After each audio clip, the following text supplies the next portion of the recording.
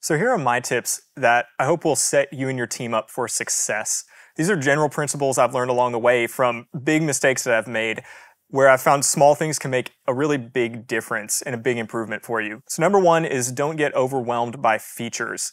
We're using it as a media server, but it's also a VJ software. That's Video Jockey. You know, they're using it to mix video content for entertainment. So certain things like the crossfader function, cue points, these are things you probably aren't going to use in your church. So don't get bogged down in trying to integrate all of these things or feel like because it's in the software, you're supposed to use it. Number two is building on that. Clean up your user interface and hide the things that you don't need. You know, for one, this is going to help you see what you do need and give more real estate to that. But also, when you hide parameters that you don't want to change anyway, you avoid accidentally scrolling through and bumping a fader as you're programming or changing things you don't intend to change. So use layouts to your advantage, make presets, and remember that less is more in your user interface. So number three is run Resolume on a clean machine. All that means is if you're bringing in a gaming computer and repurposing it for Resolume, it's a good idea to do a clean install on that machine. Or if you can't do a clean install, at least delete the things you don't need. Disable startup applications that start running in the background when you turn the computer on for the first time.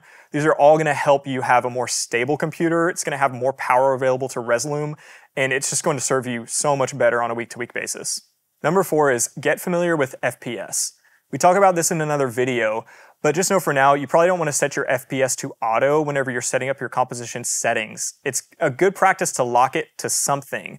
There's a lot that goes into thinking about what FPS you want to lock your system to, but a good way to start thinking about it is that it's better to see one consistent frame rate than to see it fluctuate. So if you try to target 60 frames, and as your machine is working, you see it drop down to 45 and back up to 60, that's more distracting than just locking it at 30. So these are things to start thinking about as you're optimizing your system. Tip five is check your cues. This sounds obvious, but as you're programming, you know, cues don't always work the same way in different directions, and you can also make changes you don't intend as you're going along. So two minutes before a service to just punch through your cues can make all the difference in finding something that's doing something you didn't expect it to do. This may be the most important thing that I can think of just for consistent Resolume usage. Check your cues, make sure that they work in sequence, and you're going to have better services. I hope these five lessons that I've learned help you and your church use Resolume more effectively.